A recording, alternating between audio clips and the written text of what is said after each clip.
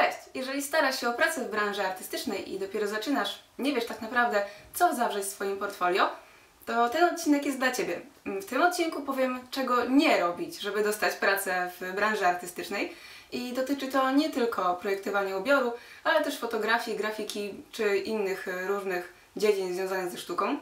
Mm, Opowiem Wam o pięciu najczęstszych błędach popełnianych przez ludzi, którzy dopiero zaczynają tworzyć swoje portfolio. Wasze portfolio powinno być odzwierciedleniem Waszych faktycznych umiejętności oraz potencjału, jaki w Was drzemie. A więc po pierwsze, inspiracja to nie kopia. Spodobała Wam się grafika znaleziona w internecie i pewnie super wyglądałaby na Waszym projekcie, to ją kupcie i użyjcie, albo zaproponujcie coś swojego. Ludzie, którzy będą oceniać Wasze portfolio, naprawdę wiedzą, co w trawie piszczy, więc nie używajcie cudzych prac, żeby wywrzeć lepsze wrażenie, bo może się stać zupełnie odwrotnie. I będzie wstyd. Straszny. Druga bardzo ważna rzecz to profesjonalizm w kontaktach. Używajcie zwrotów grzecznościowych w mailach, wiadomościach i kontaktach telefonicznych z przyszłym pracodawcą.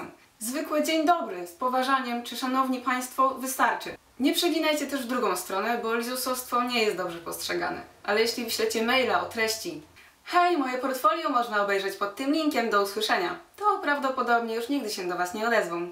To samo dotyczy nazw maila w rodzaju Łucja0277, Słodki Buziaczek 89 lub Behemoth 666. Załóżcie sobie profesjonalnego maila z imieniem i nazwiskiem i używajcie go.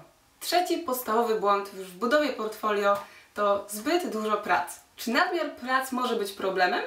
Przecież to znaczy, że dużo pracuję, że jestem kreatywny i i że nie potrafisz dokonać wyboru. Nie wiesz, które z Twoich prac są najlepsze, więc na wszelki wypadek wrzuciłeś wszystko, co miałeś. Czasami mniej znaczy więcej. Portfolio powinno zawierać około 10 do 25 prac, żeby pozostać tematycznym i czytelnym. Zamieć w nim tylko te, które uważasz za najlepsze i te, które Twoim zdaniem najlepiej wpisują się w stylistykę marki, do której aplikujesz. I nie, fanart nie jest ok.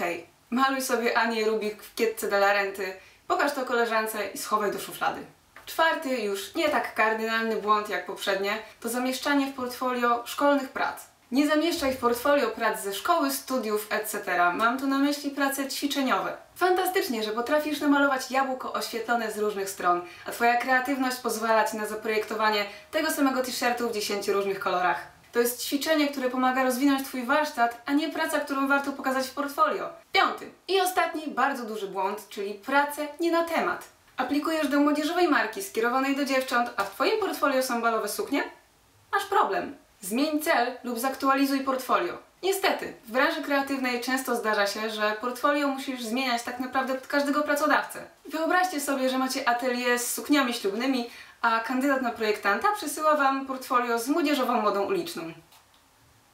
Wysyłajcie portfolio, które temu konkretnemu pracodawcy zakomunikuje, nadaje się na to stanowisko. W tym odcinku to już wszystko. Zapamiętajcie, że Wasze portfolio musi być odzwierciedleniem tego, co naprawdę potraficie. Na dole macie linki do mojego Instagrama, Facebooka oraz bloga. Do zobaczenia w kolejnym filmie.